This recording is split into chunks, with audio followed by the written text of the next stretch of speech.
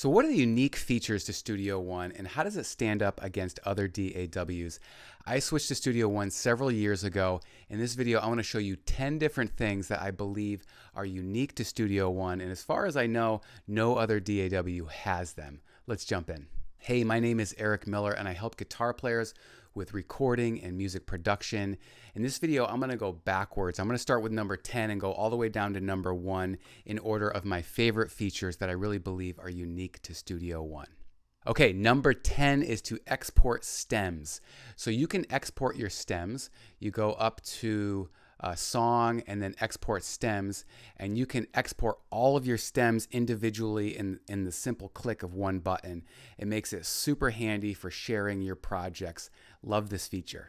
Number nine is that it works on both Mac and PC. Now, I know there are several other DAWs that do this, but it also allows you to collaborate with people also using Studio One. So if you go up to File, um, and you click on collaboration, you can collaborate with other people using Studio One. Now you have to have Studio One Plus, but this saves time because if you were using like Google Drive or something, it saves a few extra steps where you can just share files back and forth.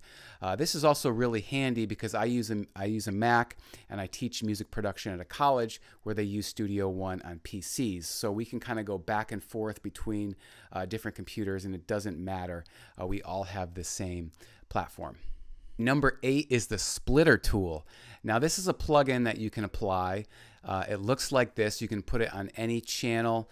And what it does is it splits the signal um, either right or left or a certain percentage of that effect to that track. So here I have a bass track and I have a little bit of distortion on the bass.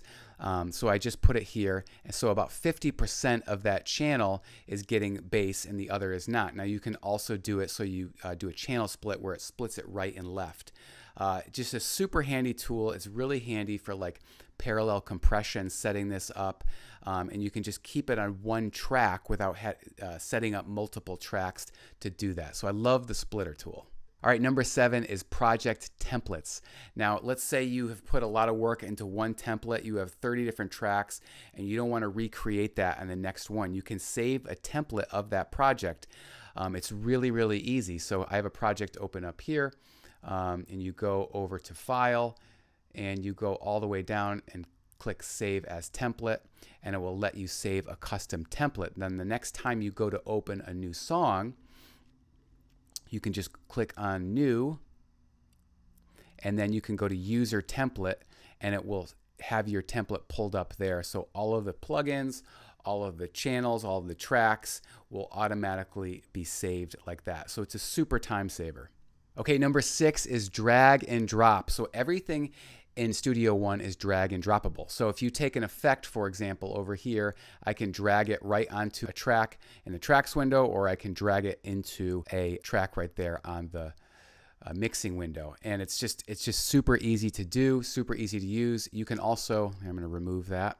Um, you can also reorder your effects by just dragging and dropping them. So let's say here I have room reverb, analog delay, pro EQ. Let's say I want to put the reverb at the end of the chain. I just click on it, drag it, and boom, it's there at the end of the chain. So everything is, is drag and droppable, making it just faster and easier to use. Love that feature. Okay, number five is the scratch pad. So the scratch pad is up here and you click on it and basically what it does is it allows you to um, create multiple versions of your song um, and different within one project. So uh, it's really handy and you can go over here and you can rename it. You can say rename scratch pad or duplicate scratch pad and it will make another scratch pad for you and then you can either copy and paste everything from your original song into the scratch pad and make a different arrangement for it and try it out um, it's really handy. You know, I, I have some projects where I have like embarrassingly like 60 scratch pads where I just have one project set up for like voiceovers and I like all the settings.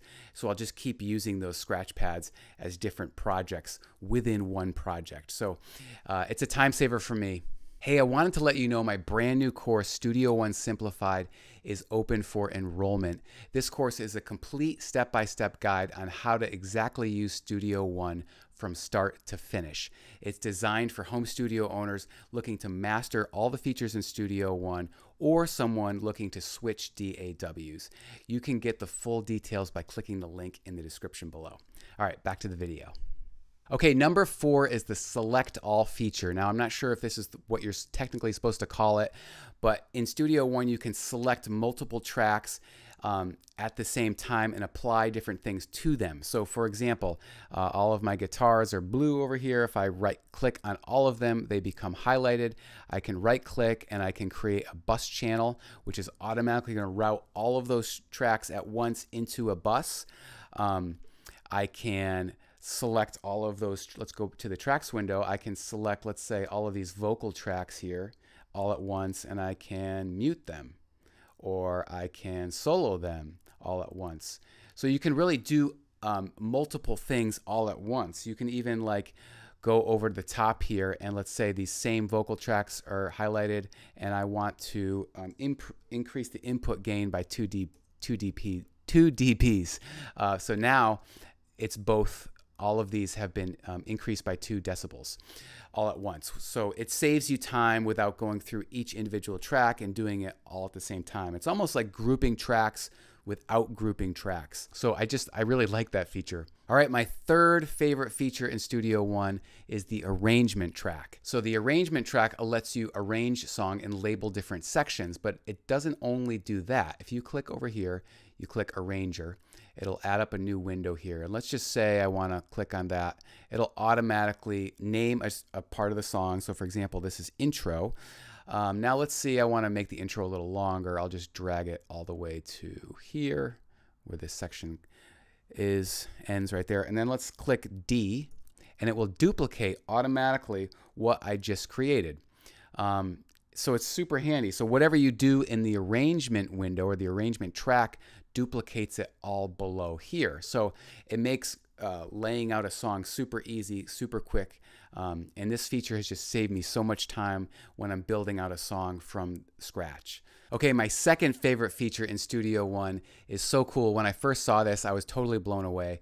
It's the chord track. Okay, so if you go over to the top up here, you click down and you select uh, chords, it'll open up this chord track where you see my chords written here.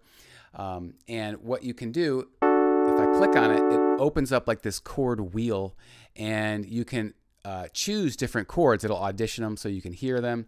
Let's say that says D here. If I want to select E, it'll change it to an E and you'll see up top that um, whatever I have selected, it'll change the chord there. So that becomes F, that becomes C. Um, I can even do like seventh chords. That's a C7. C major 7. So it'll change it in the, the chord track. Now, once you have your chord progression set, you can just drag it right down into a MIDI track and it will put the chord in there all for you so you don't have to man manually play it in. Um, so it's just super cool, super time saver. Um, and you can just come up with interesting chord progressions that way. All right, my number one favorite feature in Studio One is that it has its own dedicated mastering suite. It's called the project page, and it's super cool because you can master a project within Studio One really easily. You can even uh, transfer your song from the song page to the project page with only one or two clicks. So you, now you can master a full song, a full project uh, using the project page. I love this feature about Studio One. I don't need to go out and buy um, another uh, mastering software because it already comes right in Studio One. So I hope you found that video helpful. Um, I also encourage you, if you want to check out my new course, Studio One Simplified, just click the link in the description below, and I will see you on the next video.